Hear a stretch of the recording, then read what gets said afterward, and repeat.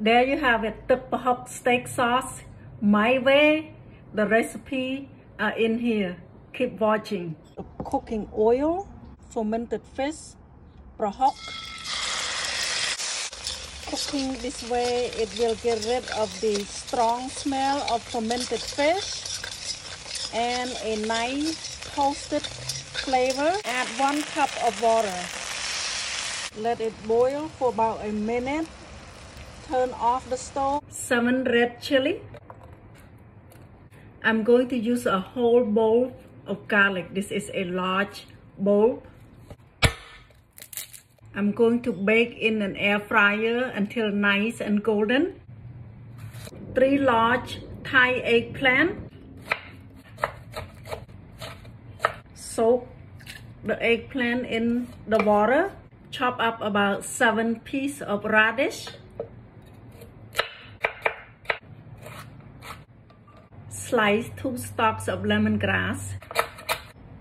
I will be using about two or three limes. I'm going to use some olive. I'm going to chop up some Cambodian mint garlics and chili is nice and golden. One teaspoon MSG. If you're afraid of MSG, do not use it. Smash until the garlic turn into a paste. Add lemongrass. Smash to break the lemongrass into small pieces to get the aroma. I'm going to strain the fermented fish that I cooked earlier. This is the prahok. See, it turned into a paste like this. Lime juice.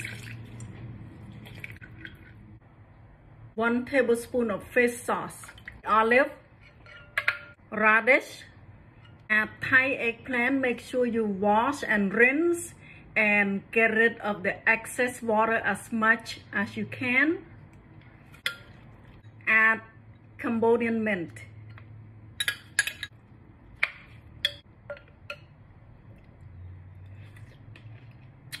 Mmm.